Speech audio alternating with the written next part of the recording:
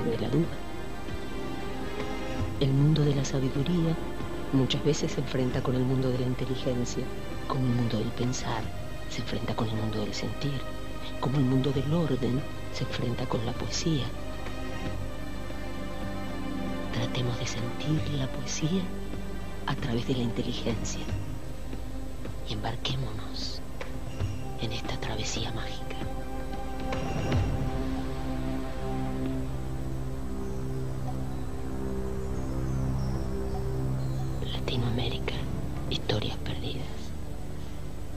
Nuestro planeta tiene regiones maravillosas, lugares rodeados de un infranqueable halo de misterio, sitios donde lo imposible es probable y lo irreal posible. El estado mexicano de Guanajuato tiene uno de estos maravillosos lugares, Camémbaro, el país de las siete luminarias. Es un imponente valle rodeado por siete volcanes que albergan misterios que sorprenden al mundo y dejan sin palabras a los investigadores más escépticos. Lagos proféticos, monstruos terribles, conexiones astrológicas sorprendentes y una clave para terminar con el hambre del mundo son solo algunos de los ingredientes que rodean a este maravilloso lugar. Soy Jaime Maussan y lo invito a que disfrute este capítulo de Latinoamérica, historias perdidas, círculos de fuego, el país de las siete luminarias. Existe en el centro de México un valle rodeado por volcanes. Siete extintos volcanes en donde abundan los misterios. Se trata de una tierra que da vida a frutos gigantes. Un paraíso que oculta un desconcertante lago cuyas aguas se tiñen de color sanguinoliento para anticipar catástrofes y cuyos siete volcanes forman un dibujo tan inconfundible como inexplicable. Paraje de enigmas y de mitos que dan vida a monstruos encerrados en montañas, lagos de profundidad infinita y colonias subterráneas de alienígenas. Las antorchas de los otrora rugientes volcanes le dieron su nombre. Círculos de Fuego, el país de las siete luminarias.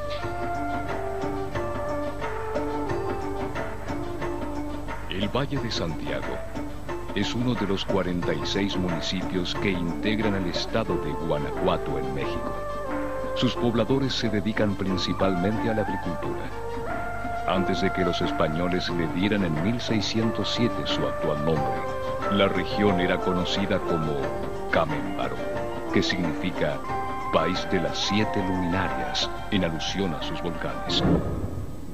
No queda ya fuego en estos cráteres, pero la furia y el ruido de las montañas han dado paso a un silencio que esconde acontecimientos asombrosos.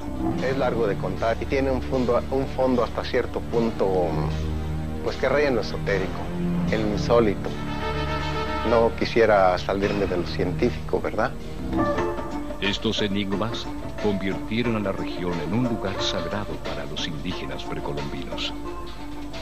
Siete son también los kilómetros cuadrados cuya superficie abarca esta misteriosa región. El clima es semicálido, sin grandes contrastes y con lluvias predominantes en verano. Nada hay de singular en la temperatura, nada de particular en el viento, nada especial en las características minerales del suelo. Nada que pueda justificar el polémico fenómeno que sacudió a la opinión pública a mediados de los setentas. Bueno, sí quedamos sorprendidos, nada más, no, no solamente yo, sino por decir todo el municipio, porque pues nunca se había visto, por decirlo aquí, una verdura gigante, sí, y llegamos a ver coles de 80 a un metro. Súbitamente comenzaron a cosecharse en el valle frutas y verduras gigantescas. Nunca había acontecido algo semejante en la historia de México. En su momento impactó al mundo, ya que en realidad pudo haber cambiado la historia de la agricultura en el planeta, no por el gigantismo propiamente del producto, sino por el rendimiento por hectárea y tener la particularidad de no usarse abono químico. Las autoridades del Estado se interesaron rápidamente en la noticia. Los campesinos del país de las luminarias parecían tener una fórmula que podía revolucionar la agricultura. Cuando estaban ya maduros, este, las cebollas estaban del tamaño de 5 kilos. Las acelgas de 2 metros, las lechugas de 35 kilos. Los agricultores, mientras tanto, extendían sus proezas. Ya no solo se cosechaban cebollas grandes como una cabeza humana, descomunales zanahorias y rábanos de 10 kilos se sumaron a la lista de prodigios. Lo que yo he logrado por hectárea en zanahoria, pues ha sido de unas 130 a 140 toneladas por hectárea. En cambio, cebolla se han dado sobre 200 toneladas por hectárea. El gobierno, sumamente atento a lo que sucedía con estos avances agrícolas, decidió investigar el asunto. Para ello, en 1977, envió un grupo de ingenieros a realizar experimentos en la región. Los expertos del gobierno diseñaron un experimento que aclararía las cosas y develaría el enigma. Utilizando la tecnología tradicional, los ingenieros sembraron hortalizas. Simultáneamente, en el terreno colindante, los exitosos campesinos del Valle de Santiago hicieron lo mismo, pero siguiendo los pasos de su misteriosa receta. Sí, se logró hacer una prueba oficial a este respecto que se hizo en, en el estado de Tamaulipas. Allí, 20 agrónomos con la 20 hectáreas para los agrónomos y 20 hectáreas para nosotros, cultivando el mismo producto para ver la diferencia. José Carmen García Martínez y Óscar Arredondo Ramírez fueron los agricultores santiaguinos que participaron de la prueba. Solo fue cuestión de esperar a que la tierra diera su veredicto. El resultado fue categórico. Ya no quedaban dudas. Aquellos agricultores, simples hombres de campo, poseían una fórmula revolucionaria. Su cosecha era 25 veces mayor Nada de la tecnología agrícola conocida por el hombre hasta ese momento podía comparársele. Y los santiaguinos demostraron además que su fórmula podía aplicarse también a legumbres y flores. La noticia atravesó entonces las fronteras mexicanas. En medio del desconcierto, Óscar Arredondo comenzó a correr la voz de que manejaba un ciclo astrológico muy preciso aplicado a la agricultura. Todas las líneas de la agricultura llámese tubérculos, llámese cítricos o como sea, son auspiciados por un signo del zodiaco, una, una posición del sol, una fase de la luna y se involucran los rayos terrestres. Para muchos, la explicación de los ciclos astrológicos resulta poco sólida. Hay una explicación este, lo más lógica, la más lógica, que es ese terreno estaba sobreabonado con, con estiércol de, granja. Entonces yo imagino que puede ser que a lo mejor es por el trabajo que le dan a la tierra, sí, porque yo conocí a ese, señor, lo conozco, sí, y ese señor trabajaba con puro excremento de diferentes animales, y me imagino que por ahí puede venir la hortaliza gigante. Si la explicación astrológica del fenómeno agrícola resultó tan polémica, más aún lo fue la explicación siguiente. Los abonos orgánicos no son exclusivos del país de las siete luminarias. En todo el planeta se utilizan fertilizantes naturales. Bueno, ese es un misterio de los de Valle Santiago, por eso hay mucho interés, ha habido mucho interés en la región, ¿verdad? ¿Por qué motivos? Que en otros terrenos se han abonado de la misma forma y han no han salido de ese tamaño, ¿verdad? Resultaba lícito hacerse algunas preguntas. Si era cierto que los campesinos utilizaban un impecable cronograma astrológico, ¿de dónde habían estos trabajadores de la tierra obtenido tan sofisticado conocimiento? ¿Cómo habían aprendido acerca de los movimientos de los astros? ¿Por qué se habían interesado en este tema? ¿Acaso alguien se los había inculcado? El país de las siete luminarias es una tierra que alienta muchos mitos. Uno de ellos habla de la existencia de una colonia de extraterrestres que vive debajo de la Tierra. Seres de otro mundo que se comunicarían con el exterior a través de los cráteres volcánicos. Yo puedo asegurar que la mayor parte de las naves que vemos no vienen de arriba, sino que salen de abajo. Los extraterrestres les habrían confiado a los campesinos el secreto para cosechar verduras y frutas gigantes. Bueno, hay, hay muchas versiones, Y, pues la versión que se ha manejado es que seres extraterrestres vienen y dan la, dan la fórmula para hacer crecer estos, estas verduras de gran tamaño. Una entidad más allá del universo nos dio la fórmula Contribuyendo al misterio, la versión de García Martínez alude a un ser superior que se comunica con él. El péndulo es como una confirmación, o sea, se usa la, la radioestesia. Y a veces no entiende uno algo, entonces sirve como para aclarar, pero de hecho no lo necesito porque lo oigo de viva voz lo que me están diciendo. En medio de las dudas, las autoridades del Estado invitaron a los campesinos a tener una reunión con sus técnicos. Fue el 20 de septiembre de 1977. Ese día, los agricultores del país de las siete luminarias ofrecieron develar su secreto.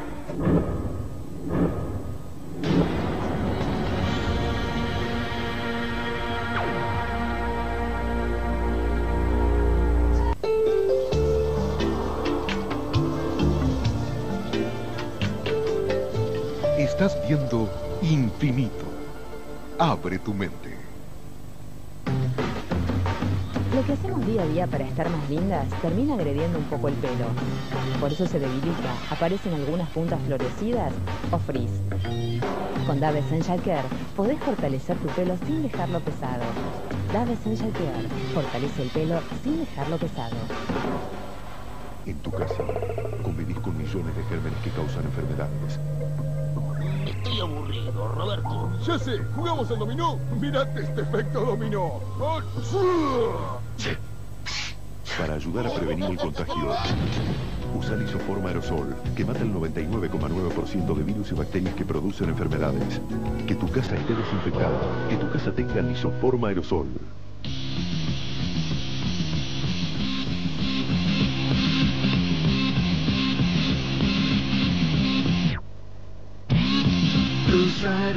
¿Y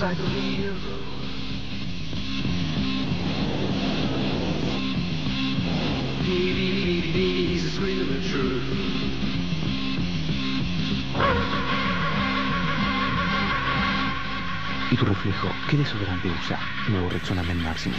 Protección cada segundo.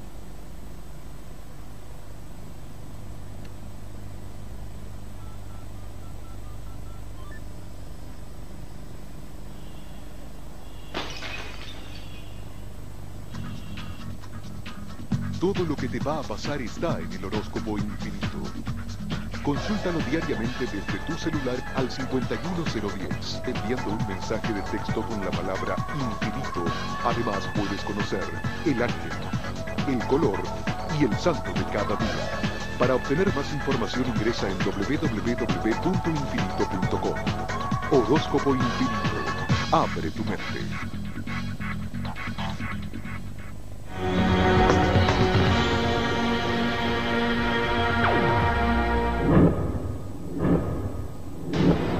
Finales del verano del 77 cuando los prodigiosos agricultores del Valle de Santiago se reunieron con las autoridades. En ese encuentro, los campesinos ofrecieron transmitir su saber. Era la oportunidad no solo de poner fin al enigma, sino de extender la revolución agrícola. Tal vez la particular receta pudiera ser utilizada por otros. A cambio de la fórmula, los campesinos hicieron dos pedidos. La creación de un parque nacional en el municipio y la construcción de una escuela de agricultura. Fundar una escuela aquí, a ese respecto, en tres meses diplomaríamos generaciones en fórmulas y técnicas. Era en el interior de uno de los cráteres, conocido como la Olla de Álvarez, donde Arredondo y García Martínez planeaban crear su escuela de agricultura. Es la montaña ubicada más al sur y se la conoce también con el nombre de olla de flores a causa de la proliferación de vegetación que surge en su interior durante la época de lluvias. Su suelo rico en minerales la convertía en un lugar sumamente propicio para el desarrollo agrario. Pero misteriosamente, la propuesta quedó archivada, perdiéndose entre los olvidos de la burocracia. ¿Fue acaso solo la indiferencia del gobierno lo que llevó a desdeñar la posibilidad de hacer pública la fórmula de los campesinos? ¿Hubo acaso intención de ocultar algo más?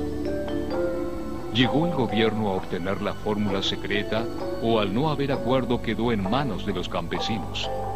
Más allá de las especulaciones, lo cierto es que la propuesta nunca fue aceptada. Muy pronto se sumó a esta actitud de las autoridades el poderoso embate de las compañías multinacionales. No se toca con el pétalo de una rosa el polvo del universo para obtener esto. Esto que, quedó, que, que quedó en un principito que acababa de nacer. Que si la humanidad lo hubiera aceptado habría sido un rey. Si bien se ignoraba cómo hacían los campesinos para obtener tan espectaculares resultados, sí se había podido comprobar dos cosas. Los agricultores del Valle de Santiago no utilizaban ningún fertilizante artificial. Tampoco aplicaban sobre sus sembradíos pesticida alguno. De alguna manera, su éxito visto como una amenaza para el mercado de la industria agrícola. La revolución agrícola había llegado prematuramente a su fin. Y a la vez se fue olvidando, sí, porque hasta ahorita ya en el momento pues ya no se ha visto la verdura gigante que se miró en aquel tiempo. Pero eso fue a finales de los entre los 70s y los 80s. Desde esas fechas ya no ha, ha habido verduras gigantes. El tema fue quedando en el olvido. Muchos se preguntan si solo hubo intereses económicos en juego o acaso algo más. ¿El conocimiento de los campesinos desafiaba solo a la industria o acaso ponía en jaque a la ciencia?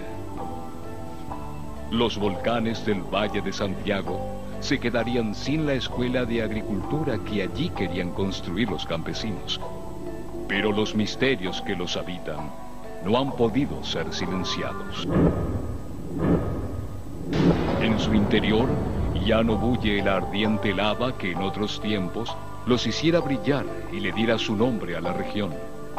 En su lugar se han formado lagos, sus aguas, de color turquesa y aspecto turbio, son ricas en minerales y en nuevos enigmas. Para entrar a la olla del rincón del Parangueo, debe atravesarse un túnel de 400 metros. Este túnel ocultaría una trágica historia, la de un hombre que se habría suicidado en su interior. Lo sepultaron ahí porque los lugareños cuentan que ahí hay una tumba de, de alguien en ese túnel. Desde allí vigila a los visitantes que ingresan al rincón del Paranqueo. Quienes viven cerca del túnel afirman que muchas veces lo han visto penando en su interior. De los siete volcanes, la olla de Álvarez o de Flores es la más pintoresca. Los turistas practican rappel y mountain bike en sus desfiladeros. Numerosos testigos han observado extrañas luces en el cielo que sobrevuelan la olla de rincón del Parangueo. Las características del paisaje contribuyen al misterio. Se cuenta que aquí en Valle, por sus características, que desde el aire parece un paisaje lunar, eh, puede que llamen la atención a los seres extraterrestres. Ven luces, eh, dicen que en dicha olla llega un platillo volador, que en otro también, pero lo que ven son luces de colores, luces blancas, ¿no? Pero eso es una fantasía de, de aquí de la región y es un misterio. Para muchos no hay tal misterio y las extrañas luces no serían o que meteoritos o cometas. De hace ocho días vimos una luz muy resplandeciente que parecía cometa, pero no sabemos si sería o, o algún una estrella que cayó, pero se vio así como cometa. Yo lo vi así.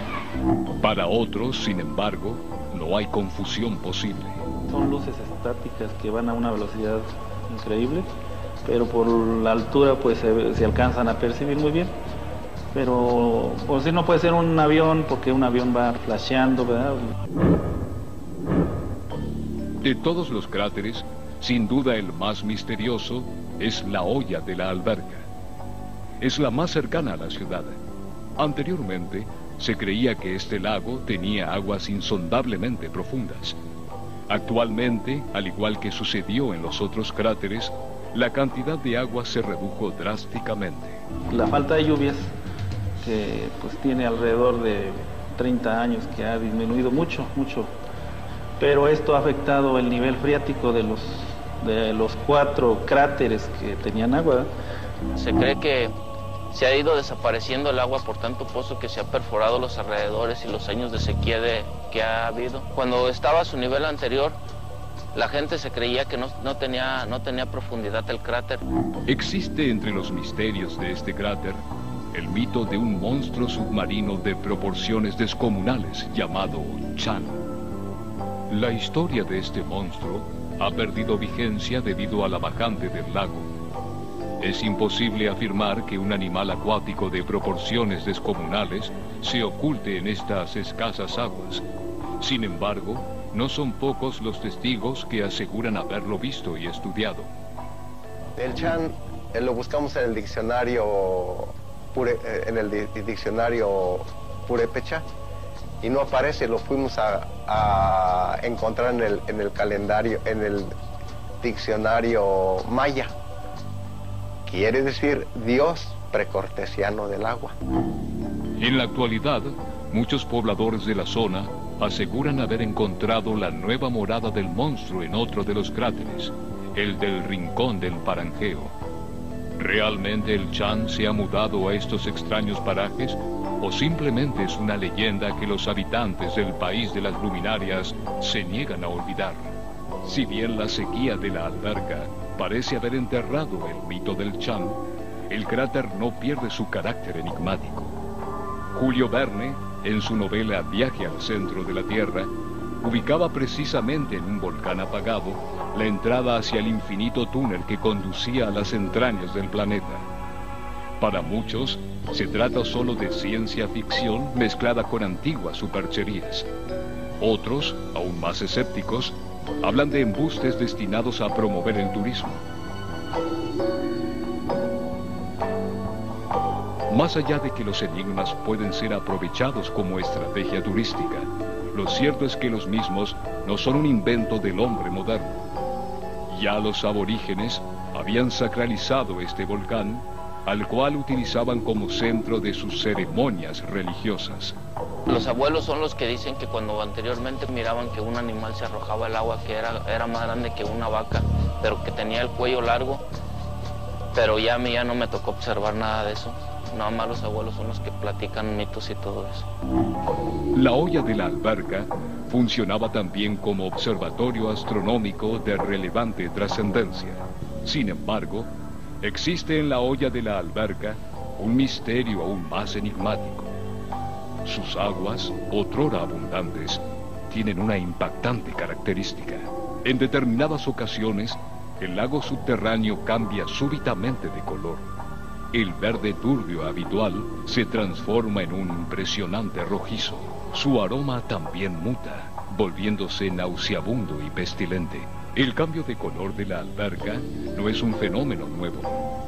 Las tradiciones mencionaban ya esta característica del lago. Los aborígenes conocían este hecho tal como lo testimonia el nombre del antiquísimo asentamiento humano existente junto al volcán, Yuriría Púndaro, que significa lago de sangre. Pero recién ahora la ciencia ha comprobado este suceso, poniendo fin a una serie de descalificaciones del saber popular. Lo más impactante del lago de sangre no es, sin embargo, el hecho de que cambie de color, sino cuándo lo hace se ha observado una regularidad en la aparición del fenómeno. El lago se pinta de sangre cuando está por suceder algún hecho terrible.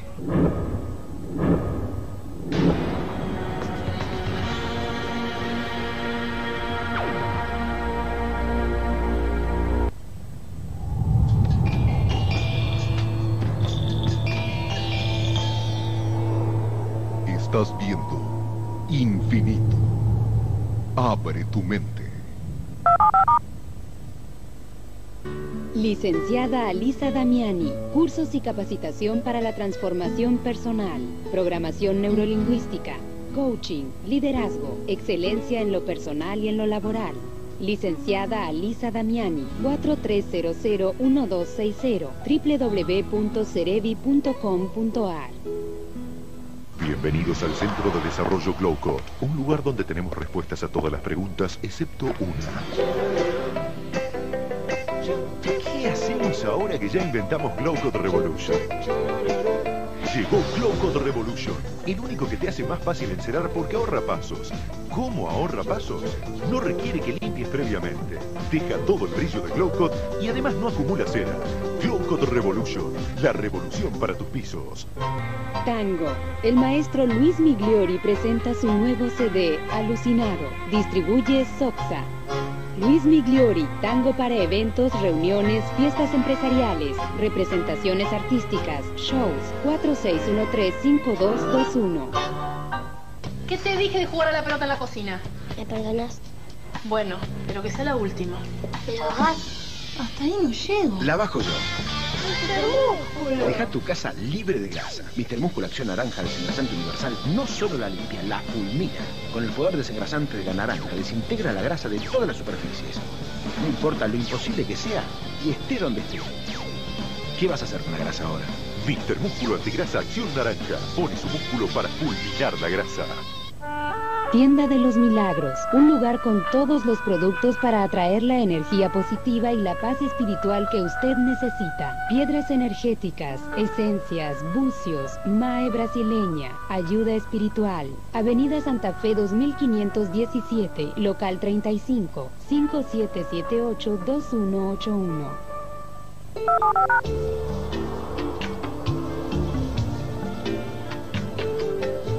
Estás viendo Infinito. Abre tu mente.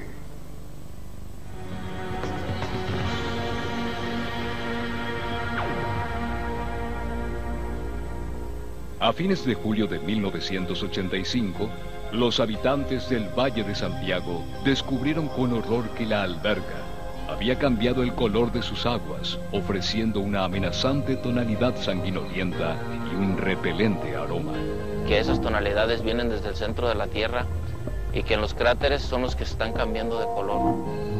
Semanas después, el 19 de septiembre, el DF mexicano fue azotado por uno de los más violentos terremotos de su historia. El movimiento sísmico causó estragos. La cantidad de víctimas y los daños materiales fueron enormes. No fue esta la única vez que la alberca se anticipaba una catástrofe natural. Aparentemente, el lago del volcán podía, de alguna misteriosa manera, predecir las tragedias. Cuando el lago de sangre se ponía rojo, quería decir que iba a haber terremotos. Cuando tenía un, olor azufroso, quería decir que el terremoto iba a ser fuerte y cerca. Cuando aparecía la mancha roja por ese lado, punto cardinal iba a ser el, el cataclismo. La versión popular es que cuando el agua se torna de color rojo, es que va a suceder una tragedia en cualquier parte del mundo.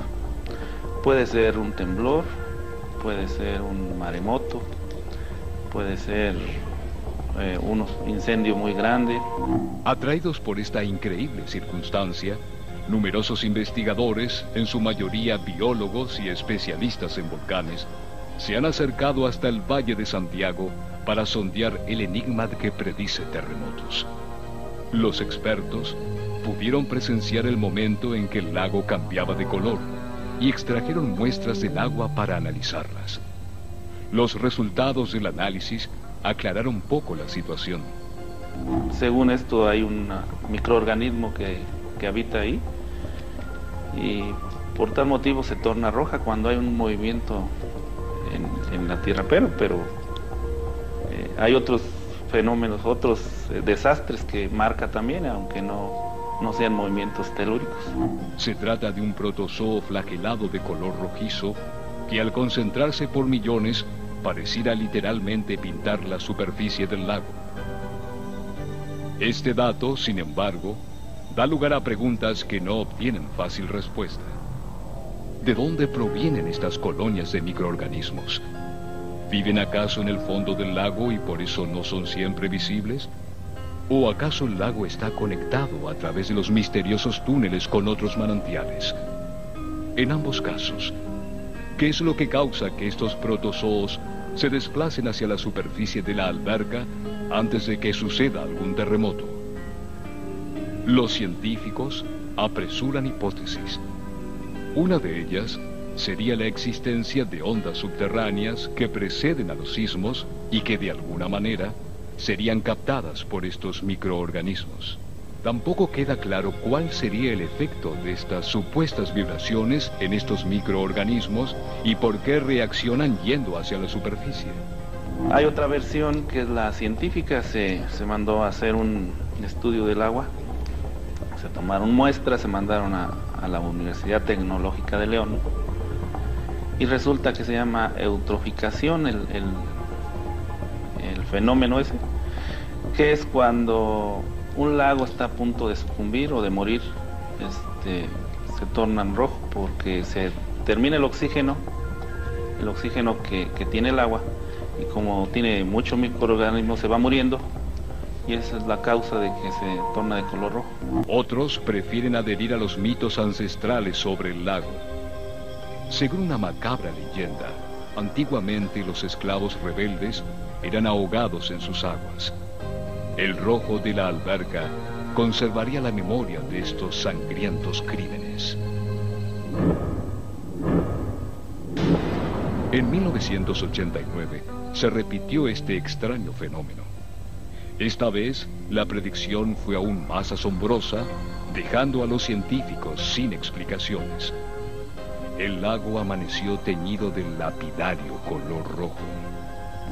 Hace poco, bueno, el, el más fuerte, el más desastroso fue el, el, terremoto de México en 1985.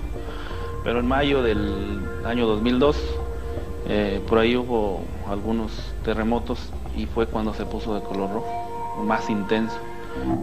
Dos días después ocurrían dos terremotos. Uno de ellos fue en California. Sin embargo, el más inexplicable fue el segundo, que ocurrió en China.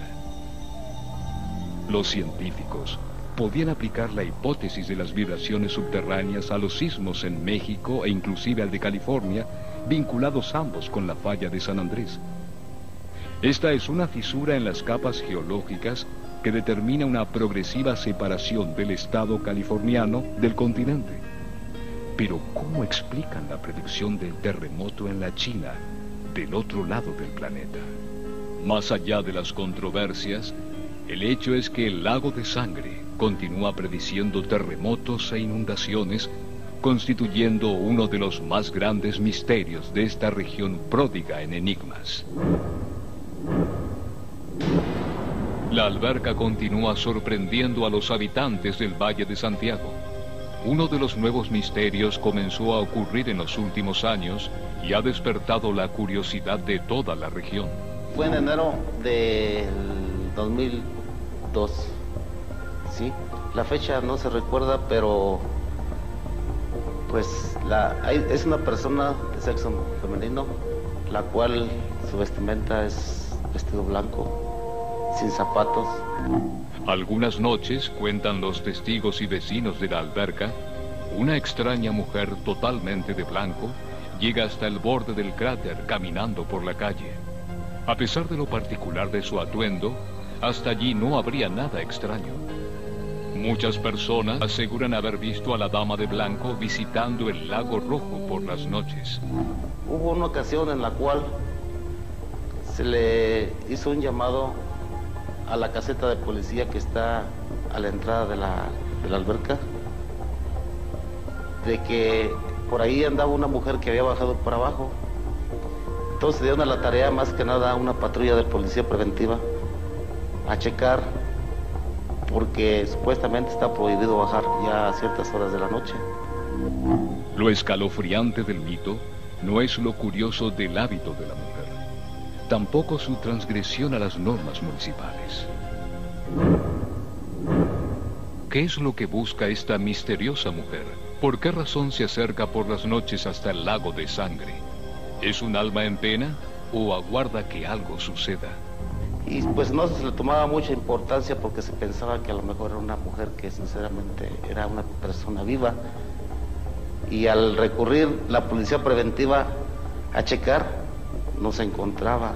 Entonces, pues de ahí se piensa que es una mujer pues que sinceramente ya no es de este mundo. Una persona que anda vagando. E incluso la cara no se la veía. No, no fue vista pues por otras personas de la cara se miró de espalda a esa persona. En ocasiones se veía que pisaba el piso y en ocasiones se veía que iba flotando. Tal vez tenga relación con los antiguos mitos de los sacrificios humanos que se realizaban en el cráter del volcán. Sin embargo, existe en el país de las siete luminarias un enigma aún más desconcertante. A diferencia del lago de la alberca, cuyas propiedades eran conocidas desde tiempos inmemoriales, este misterio salió a la luz durante el siglo XX. Con la llegada de la aeronavegación, se descubrió una extraña configuración en las montañas. Las primeras vistas aéreas de la región mostraron algo impactante. Los volcanes forman un dibujo, una distribución que parecía familiar, un diseño que los observadores recordaban haber visto en otro lugar.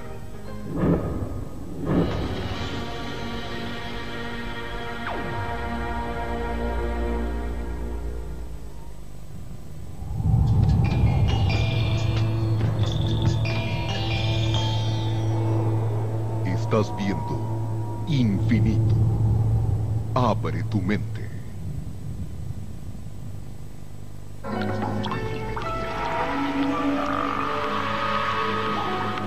Tu baño es lo que olés. Para que no se convierta en un baño público, cambia las pastillas comunes por Glade desodorante para inodoros, que te da fragancias más ricas, por mucho más tiempo. Tu casa, tu baño, tu Glade. Los repuestos a solo 1,85. La numerología es una disciplina que permite desarrollar el potencial de cada Cursos de un año con salida laboral y cursos de tres meses con Jara. 30 años de experiencia en numerología. También consultas personales y estudios numerológicos grabados. Jara 4797-3994. ¿Qué te dije de jugar a la pelota en la cocina? ¿Me perdonas? Bueno, pero que sea la última. ¿Me la bajás? Hasta ahí no llego. La bajo yo. Deja tu casa libre de grasa. Mr. Músculo Acción Naranja Desengrasante Universal no solo la limpia, la fulmina. Con el poder desengrasante de la naranja desintegra la grasa de todas las superficies. No importa lo imposible que sea y esté donde esté. ¿Qué vas a hacer con la grasa ahora? Mr. Músculo Antigrasa Acción Naranja pone su músculo para fulminar la grasa. La Asociación Psicofísica Argentum presenta Armonización Psicofísica, el método más moderno, rápido, económico y eficaz para solucionar dolores, malestares, disfunciones, estrés, bloqueos, miedos, angustias. En pocos minutos se obtienen resultados sorprendentes. Informes 4383-5454 www.argentum.org.ar ¿Cansada de tirar las sobras de comida? Las bolsas Ziploc te pueden ayudar porque gracias a su cierre hermético mantienen la frescura de tus alimentos por más tiempo. Ahora podés elegir, o tirás la comida o la conservás por más tiempo en las bolsas Ziploc. Ziploc, el sabor bien guardado sin desperdicio. Elegí cualquiera de estas Ziploc a solo 2,89.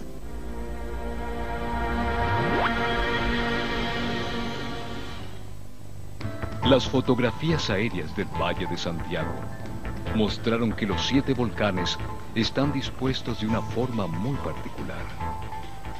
La Osa Mayor.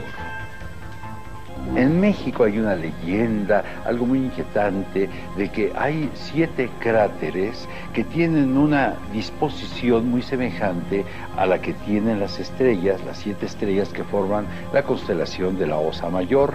Y así también aquí es el lugar de muchas luminarias, de las cuales siete están en correspondencia con las siete estrellas de la Osa Mayor.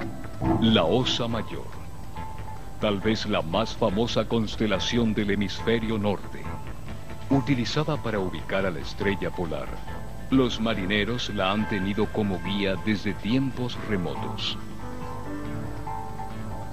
Según la leyenda, Zeus tuvo un hijo con la diosa Calixto.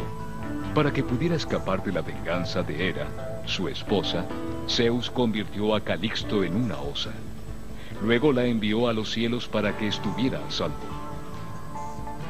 Las siete estrellas principales de la Osa Mayor forman un asterismo conocido como el cucharón o la cacerola.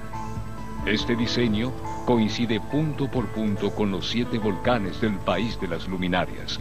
La Osa Mayor es una de las constelaciones que, que podemos percibir desde la Tierra y que destaca precisamente porque la estrella polar, estrella del navegante, ahí está relacionada con el polo magnético de la Tierra. Esto es importantísimo. Como si fuesen un espejo que refleja las estrellas, los volcanes se agrupan a semejanza de los astros. ¿Conocían los indígenas esta similitud con las estrellas? Especialistas en astroarqueología, alertados por estas imágenes, se interesaron por el tema e iniciaron un ambicioso proyecto. Tomando como referencia el hecho de que numerosas ciudades europeas, especialmente las griegas, habían sido construidas de acuerdo a un mapa zodiacal, los científicos se preguntaron si sucedía algo similar con los antiguos asentamientos mexicanos. Para ello, realizaron un exhaustivo relevamiento topográfico de la totalidad del país.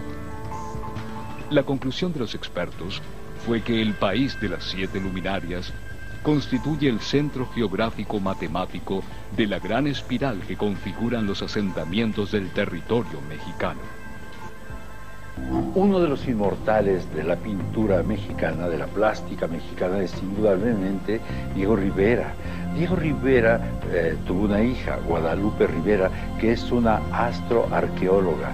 Ella se ha dedicado, como su padre, a profundizar en grandes misterios y ha encontrado la similitud de estos siete cráteres que están en la zona de México con las siete estrellas que forman la constelación de la Osa Mayor.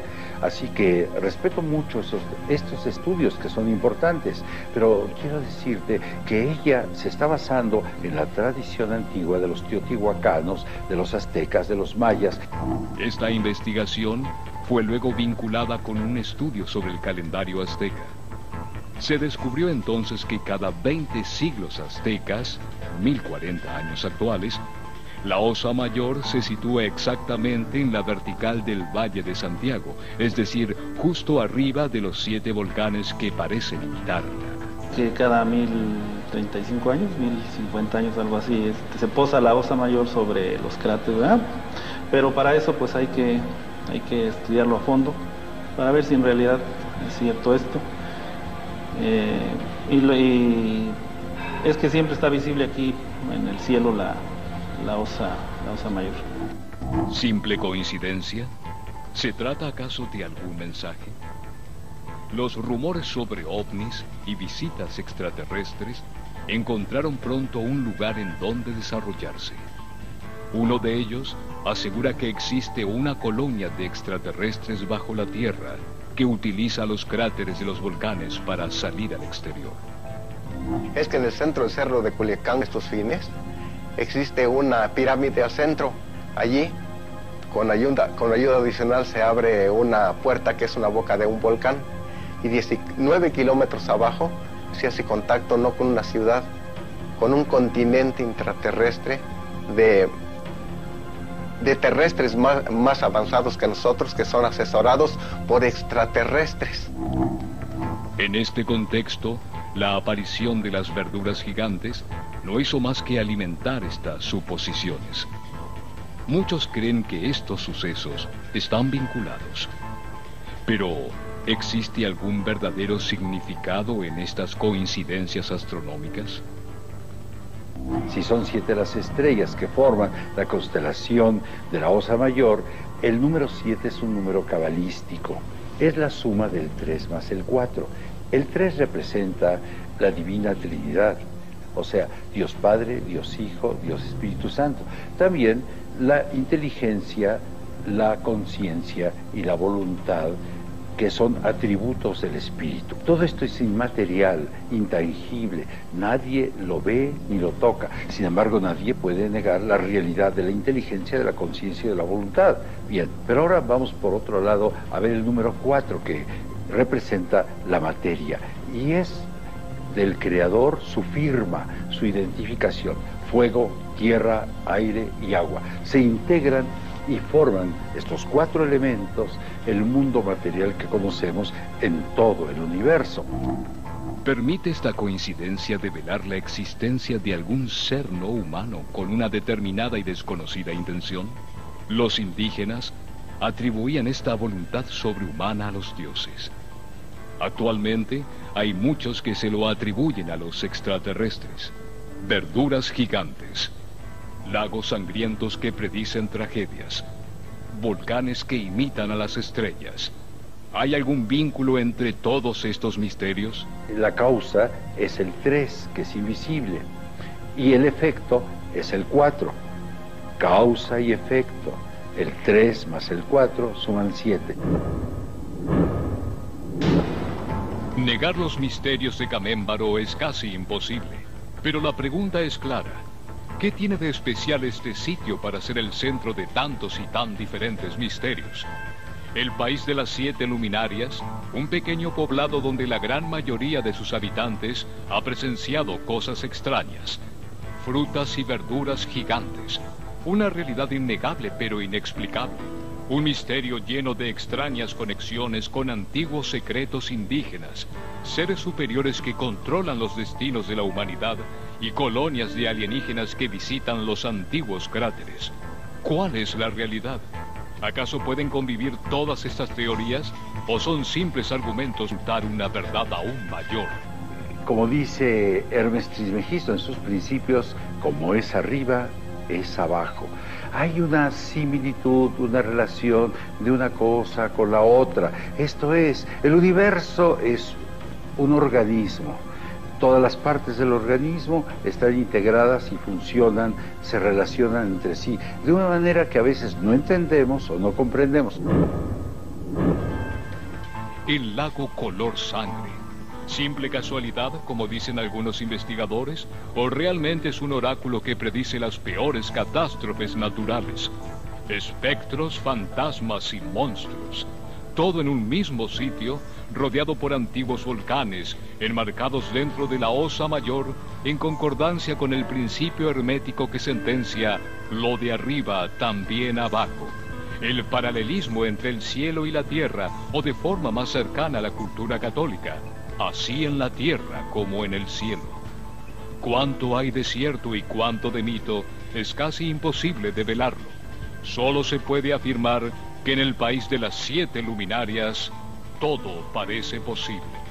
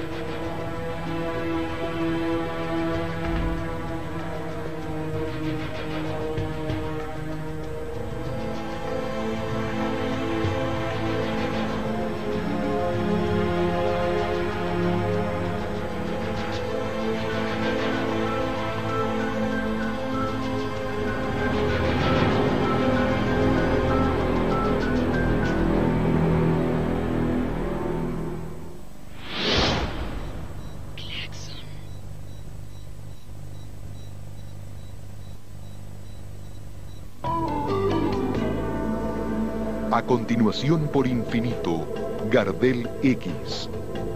Infinito, abre tu mente.